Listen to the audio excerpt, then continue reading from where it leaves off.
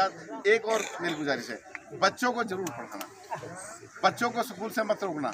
दसवीं के बाद आप बिठा लेते हो मत बिठाना। बेटियों को भी आप लोगों को पढ़ाना। बेटियों की शिक्षा सारी फ्री है। क्या जा रहा है आपके लोगों से? जब ये बेटी पढ़ जाएँगी जब बच्चे पढ़े हमें किसी के आगे हाथ फैलने की ज़रूरत नहीं पड़ेगी। हम हक, अपना हक खुद ले लेंगे।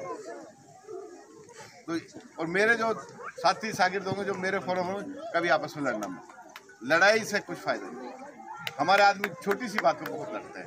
थानों में जाते हैं, उनकी जी हजूरी करते हैं, फिर डॉक्टरों के पास हैं, उनकी जी हजूरी करते हैं, फिर किसी दूसरे आदमी को पढ़ते हैं, उसकी जी हजूरी करते हैं, ऐसा काम मत मैं इससे निकल गया हूँ। बहुत होली, अभी अति होली, उन्नीस सौ सैंतालीस से आज तक, केस ही केस, हर सौ फ़ोन आते तो अस्सी फ़ोन खड़ोगे।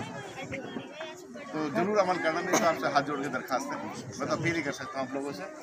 और फिर से एक बार आप लोगों को बहुत बहुत शुक्रिया। असल